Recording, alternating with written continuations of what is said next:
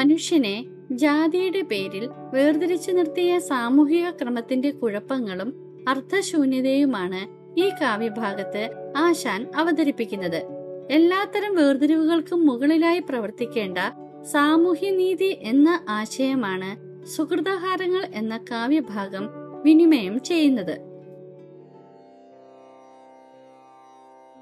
തൂമ തേടും തൻ പാളകിണറ്റിലിട്ടോ മൽക്കയ്യാൽ കയറു വലിച്ചുടൻ കോമളാങ്കി നീർ കോരി നിന്നീടിനാൾ ശ്രീമാന ചെന്നർത്ഥിച്ചാൻ. ദാഹിക്കുന്നു ഭഗിനി കൃപാരസമോഹനം കുളിർത്തണ്ണീരിതാശു നീ. ഓമലേ തരൂ തെല്ലെന്നതു കേട്ടൊരാ മനോഹാരി അമ്പരന്നോതിനാൾ. കിണറിൽ നിന്ന് വെള്ളം കോരുന്ന മാതങ്കിയുടെ ചലനങ്ങൾ സൂക്ഷ്മമായി അവതരിപ്പിച്ചുകൊണ്ടാണ് കവിത ആരംഭിക്കുന്നത്. ചുട്ടുപൊള്ളുന്ന ഒരു വേനൽക്കാലം. ഉത്തരേന്ത്യയിലെ ശ്രാവസ്തി എന്ന പുരാതനമായ പട്ടണത്തിനടുത്തുള്ള ഒരു ഗ്രാമം. ശ്രീബുദ്ധ ശിഷ്യനായ ആനന്ദ ഭിക്ഷു നടന്നു തളർന്ന് ഒരു ആൽമരച്ചോട്ടിലെത്തി സൂര്യന്റെ കഠിനമായ ചൂട് ഭൂമിയെ ചുട്ടുപൊള്ളിക്കുന്നു. ഇനി അല്പം വെള്ളം കുടിക്കാതെ മുന്നോട്ട് നടക്കാനാവില്ല. അദ്ദേഹം ചുറ്റും നോക്കി. അതാ ഒരു പെൺകിടാവ് കിണറ്റിൽ നിന്ന് വെള്ളം കോരുന്നു. തൂമ തേടൽ പാളയ്ക്കും മാതങ്കിക്കും ഉണ്ട്. അവൾ സുന്ദരിയാണ്. അവൾ ഉപയോഗിക്കുന്ന വസ്തുക്കളും സുന്ദരമാണ്.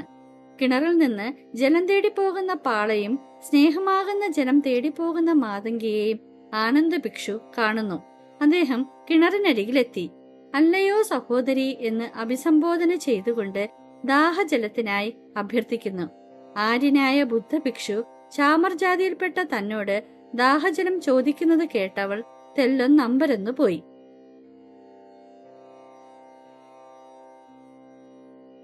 അല്ലല്ലെന്തു കഥയിതു കഷ്ടമേ? അല്ലലാലങ്ങു ജാതി മറന്നിതോ? നീചനാരിതൻ കയ്യാൽ ജലം വാങ്ങിയാചമിക്കുമോ ചൊല്ലെഴുമാര്യന്മാർ. കോപമേലരുതേ ജലം തന്നാലും പാപമുണ്ടാമിവളൊരു ചണ്ടാലി ഗ്രാമത്തിൻ പുറത്തിങ്ങു വസിക്കുന്ന ചാമർ നായകൻ തന്റെ കിടാത്തി ഞാൻ. അയ്യയ്യോ ദാഹം കൊണ്ട് അങ്ങ് ജാതിയും മറന്നോ? കൊടിയ ദാഹത്താൽ ഭിക്ഷു ജാതി നിയമങ്ങൾ മറന്നുപോയോ എന്ന് മാതങ്കി ആശങ്കപ്പെടുന്നു. നീചനാരിയായ എന്റെ കയ്യിൽ നിന്ന് ആര്യന്മാർക്ക് ജലം വാങ്ങി കുടിക്കാമോ? എന്നോട് കോപമുണ്ടാകരുതേ. അങ്ങയ്ക്ക് ദാഹജലം നൽകിയാൽ ഈ ചണ്ടാലിക്ക് പാപമുണ്ടാകും. താഴ്ന്ന ജാതിക്കാരിൽ നിന്ന് ജലം വാങ്ങി കുടിക്കുന്നത് ആര്യന്മാർക്ക് നിഷിദ്ധമാണ്. അത് ആനന്ദഭിക്ഷു എന്ന ആര്യനേക്കാളും മാതങ്കിക്കാണ് അപകടകരമാകുന്നത്. അതിന്റെ വിറയിൽ അവളിൽ പ്രകടമാണ്. ഗ്രാമത്തിനു പുറത്തു വസിക്കുന്ന ചാമർനായകന്റെ കിടാത്തിയാണ് താനെന്ന് അവൾ ഭിക്ഷുവിനെ ഓർമ്മിപ്പിച്ചു. ഓതിനാൻ ഭിക്ഷുവേറ്റം വിലക്ഷനായി. ജാതി ചോദിക്കുന്നില്ല ഞാൻ സോദരി. ചോദിക്കുന്നു നീർനാവു വരണ്ടവോ ഭീതി വേണ്ട തരികാതെനിക്കു നീ. എന്നുടനെ കരപുടം നീട്ടിനാൻ ചെന്നളീന മനോഹരം സുന്ദരൻ. പിന്നെ തർക്കം പറഞ്ഞില്ലയോ മലാൾ? അതിന് ആനന്ദഭിക്ഷു നൽകിയ മറുപടി ചരിത്ര നിർമ്മിതിപരമായി ഏറെ പ്രധാനപ്പെട്ടതാണ്. അല്ലയോ സോദരി ജാതി എനിക്ക് അറിയേണ്ടതില്ല തൊണ്ട വരണ്ടിരിക്കുന്നു. ഭീതി വേണ്ട. അല്പം ജലം നൽകിയാലും എന്ന് പറഞ്ഞുകൊണ്ട് ഉടൻ തന്നെ അദ്ദേഹം കൈക്കുമ്പിൾ നീട്ടി. പിന്നെ അവൾക്ക് എതിർത്തൊന്നും പറയാൻ കഴിഞ്ഞില്ല. തന്മിയാണവൾ കല്ലല്ലിരുമ്പല്ല. കറ്റക്കാർ കൂന്തൽ മൂടി തലവഴി മുറ്റുമാസ്യം മറഞ്ഞു കിടക്കുന്ന ചാരു സാരിയൊതുക്കിച്ചെറു ചിരി ചോരും ചോരിവാ ചെറ്റുവിടർത്തവൾ പാരം വിസ്മയമാർന്നു വിസ്ഫാരിതധാരയായി തെല്ലു നിന്നുമൈ കണ്ണിയാൾ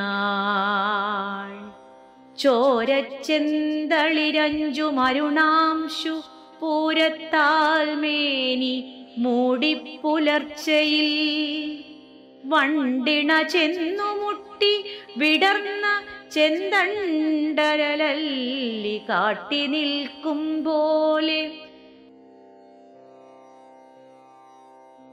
കല്ലും ഇരുമ്പും അല്ലാത്ത മനുഷ്യത്വത്തിന്റെ പെൺരൂപമാണ് മാതങ്കി. ഇടതൂർന്ന കറുത്ത തലമുടി മൂടിക്കൊണ്ട് ശിരസിലൂടെ മുഖത്തെ മറച്ചുകൊണ്ട് കിടക്കുന്ന മനോഹരമായ സാരി ഒതുക്കി ചെറുചിരിയോടെ അവൾ നിന്നു. അന്യപുരുഷന്മാരോട് മുഖം മറച്ചേ സംസാരിക്കാവൂ എന്ന പഴയ ആചാര രീതിയും ഇവിടെ സൂചിതമാകുന്നു. വിസ്മയം കൊണ്ട് അവളുടെ കണ്ണുകൾ നക്ഷത്രം പോലെ പ്രകാശിച്ചു. പുലരിയിൽ ചെന്തളിരിനേക്കാൾ ഭംഗിയുള്ള മേനി സൂര്യരശ്മികളാൽ മൂടി അല്ലികൾ കാട്ടി നിൽക്കുന്ന താമര പോലെ വിടർന്ന ചിരിയോടെ അവൾ നിന്നു. സൂര്യരശ്മികൾ ഏൽക്കുമ്പോൾ താമരയിലുണ്ടാകുന്ന ഭാവവ്യത്യാസം ആനന്ദഭിക്ഷുവിന്റെ സാമീപ്യത്താലും പരിഗണനയാലും മാതങ്കിയിലും ഉണ്ടായി. ചുവന്നു തുടുത്ത കൈക്കുമ്പിൾ നീട്ടി ദാഹജലത്തിനായി നിൽക്കുന്ന ഭിക്ഷുവിനെ ഇവിടെ വണ്ടായി കവി സങ്കല്പിച്ചിരിക്കുന്നു പിന്നെ കൈത്താർ വിറയ്ക്കയാൽ പാളയിൽ ചിന്നി നിന്നു.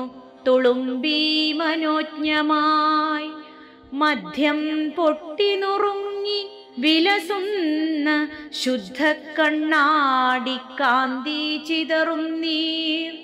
ആർത്തിയാൽ ഭിക്ഷു നീട്ടിയ കൈപ്പൂവിൽ വാർത്തു നിന്നിതേ മെല്ലെ കുനിഞ്ഞവൾ.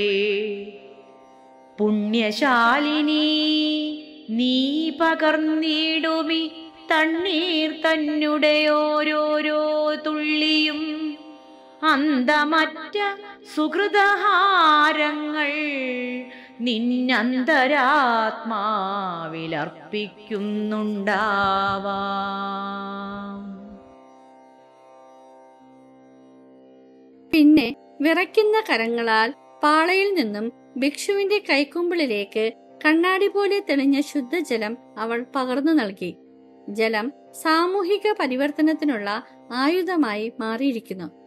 തണ്ണീർത്തുള്ളികൾ കൊണ്ട് ആനന്ദഭിക്ഷുവിന്റെ ദാഹം തണുപ്പിച്ച മാതങ്കി നീചമായ ജാതിബോധത്തെ നീർത്തുള്ളികൾ കൊണ്ട് കീറി മുറിവേൽപ്പിച്ചു നീചനാരിയായ മാതങ്കിയുടെ കാരുണ്യപൂർണമായ ഈ പ്രവൃത്തികൾ അവളെ പുണ്യശാലിനിയാക്കി. ജലം പുണ്യവുമായി ബന്ധപ്പെട്ടതാണ്.